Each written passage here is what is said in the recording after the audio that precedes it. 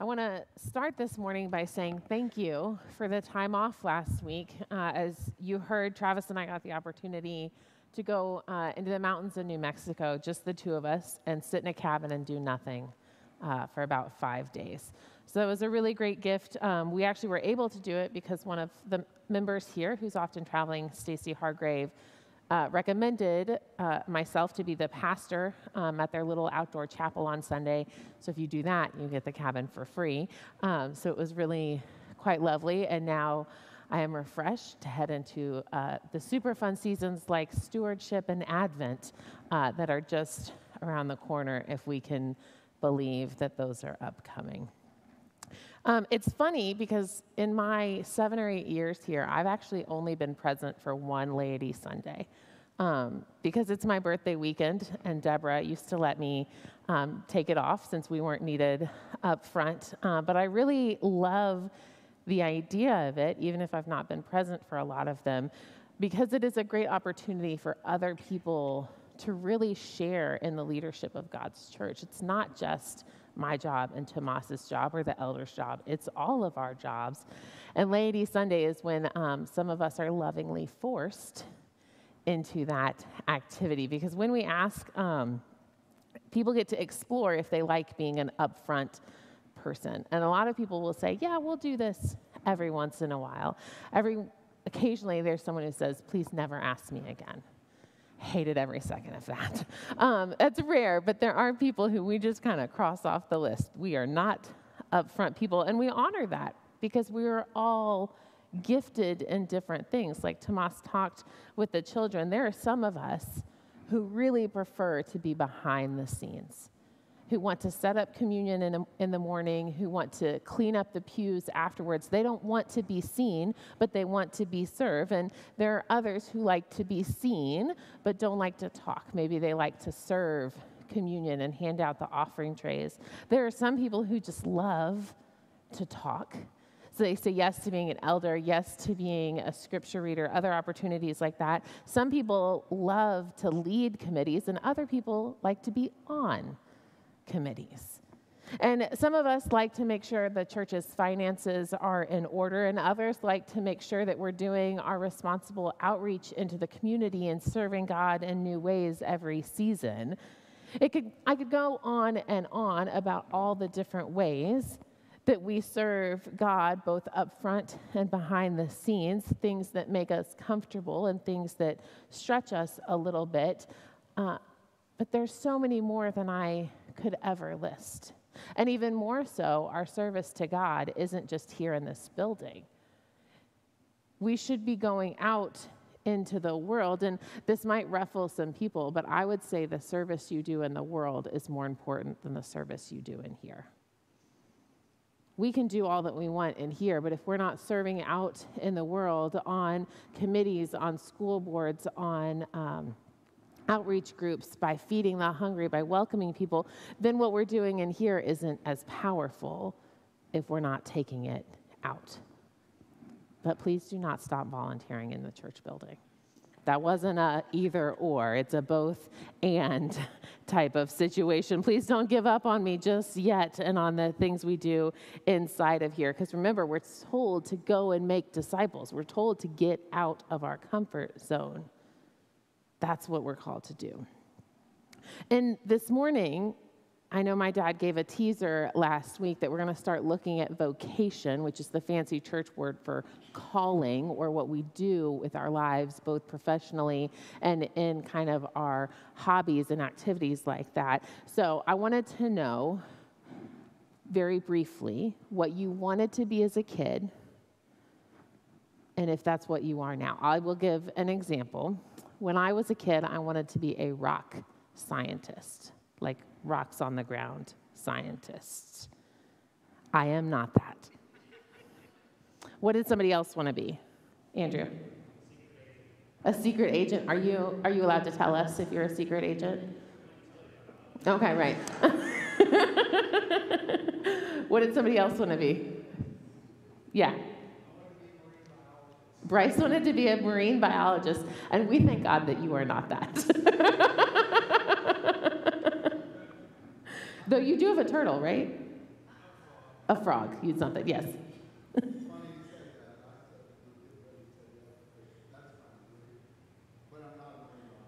Your degree is a marine biologist? Okay, I love it. You learn something new every day. Any, anybody else? A baker? I love it. Say it again. Teacher and singer. A teacher and singer. So good job, right? You did it. Little you is so proud. Teacher and singer. Teacher and singer. I love it. I love it. One more. Anybody else? You want it to be Van Cliburn. Is this a Texas reference that I don't get? Okay. okay, concert pianist in the world. Excellent. All right. Okay, yeah, raise your hands if you are what you wanted to be. Nancy, Sherry, we got some. I love it. I love seeing these dreams realized, but it's also fun when we have different dreams, when we grow into things, because we do evolve as who we want to be. Even if you wound up doing your dream, other parts of your life probably look different than you thought it would look as a child. Sometimes, as we've seen, a lot of us got to be what we wanted to be. Others, that's a hobby like we have amphibians uh, that we help. I'm going to stick with amphibian um, that we help raise. And sometimes we did something for a little bit, and then that season ended, and we went on to do something else. I'm sure we're all familiar with the phrase that you have to walk before you can run. You have to learn one skill before you can do another. I think our educators call it scaffolding. You have to build on top of other things. The purpose of learning to walk is not so that you can learn to run and never walk again. You do still walk in life. Most of us probably walk more than we run. Both skills are important, even as they build on top of each other. The same is true for our ages. While childhood and a young adulthood prepare us to be adults, those ages are also important in their own rights. They have value just as they are. You can't just skip over childhood and become an adult and be perfect and say, I didn't need to do any of that. So, in this vocation sermon series, we are going to take Sundays and look at those ages as things that have value in their own right not just as stepping stones to something bigger, but things that are their own. One of the authors that I read said that every stage of life is, yes, preparing for the next, but also exists in its own right. We are building blocks out of blocks that are important on their own. A quick little uh, language lesson the Greek word ekklesia means church. That's what we refer to. The ecclesia is the church, but it also contains the verb to call. Ecclesia contains the verb to call. And so, earliest Christian communities, when they labeled themselves as this, as an ecclesia, they understood they were not just a community, but a community with a calling to something, a calling to be a believer of, of everyone of all ages, all groups together. Remember, at this time in the early Christianity, they were meeting in houses. And that means everyone was there together, tumbled on top of each other, the babies and the children in there with the adults, all learning and growing together. Ecclesia, a community called together, valuing each life in the room. I'm going to be a little creative in a rereading of the scripture today, this last part, verses six through eight. And what if it read like this? We have different ages according to the grace given to each of us. If your gift is childhood, then have wonder.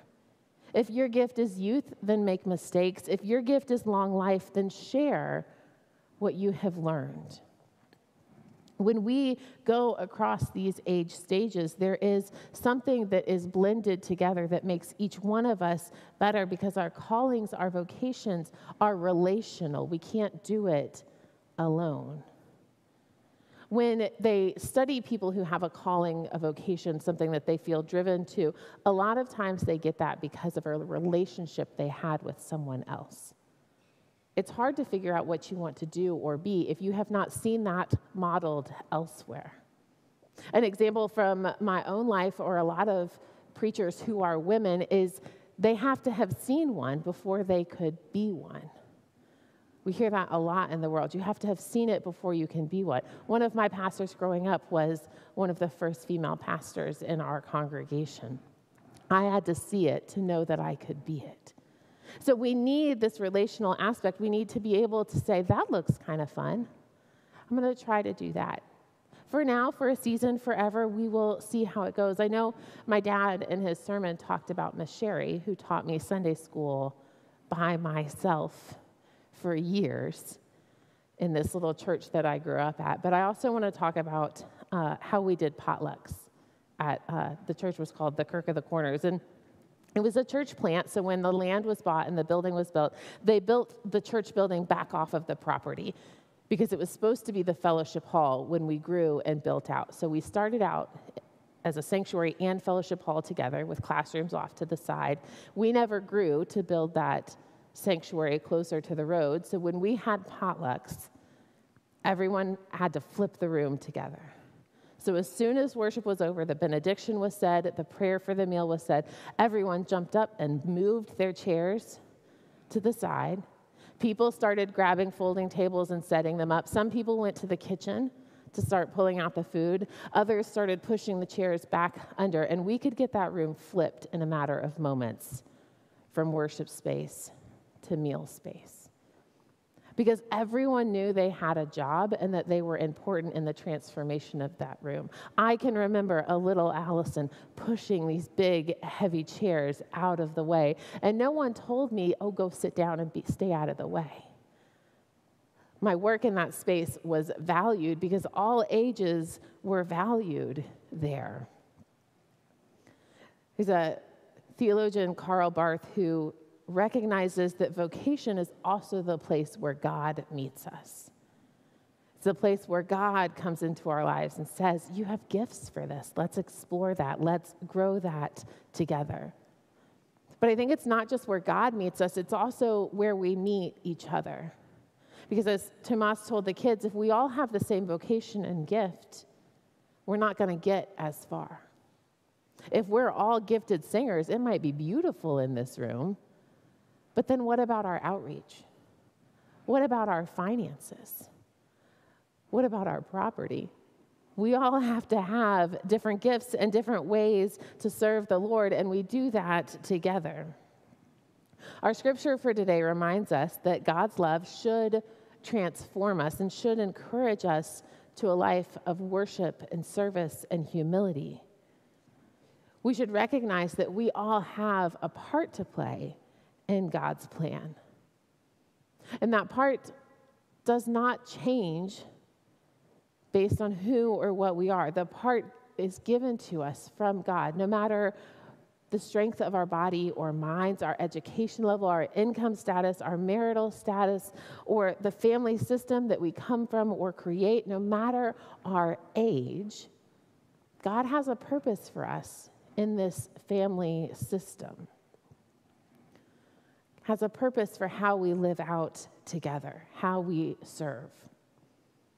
I'm also going to pull from 1 Corinthians today. This is a verse that many of us probably know in our uh, hearts, if not verbatim. And remember, it says, Now if the foot would say to the hand, then I do not belong to the body because I am not the hand, it would not stop being a part of the body. Or if the ear should say, I am not the eye, I don't belong in the body and would not stop being part of the body. If the whole body were an eye, where would hearing be? But in fact, God has placed these parts on the body, every one of them, just like He wanted them to be. God has placed these parts together as God wanted them to be. Again, this is one we could change for ages. We could say, if we were all children, where would we be? If we were all young adults, if we were all middle aged, if we were all advanced in age, where would we be? Instead, God says, I want each one of you here. Paul loves this body imagery. He uses it a lot to remind us of the purpose that we serve reminds us that we can't look at someone a different age of us and say, You aren't important yet, or you are past the age of being important. We can't say to the children, just wait, it's not your turn yet. We can't say to those who are older than us, oh, you're done. Just sit down. We are all important. We all have parts to play, different parts, but important parts. And we're supposed to work together to figure it out. So, in the next few weeks, we're going to explore that. We're going to look at each age range and the gifts that they can bring to us from the family of God. We're going to look at what it looks like to be the ecclesia, the church that is called to be a community of God. Let us pray. Ever loving God, you have created us to be a family. You have called each one of us with our strengths, with our weaknesses, with our similarities, with our differences. You have looked at each one of us and called us good. Help us to look around us and see that light, that goodness shining in each one of us and honor our differences, Lord, just as we celebrate our similarities. We give all thanks and praise to you.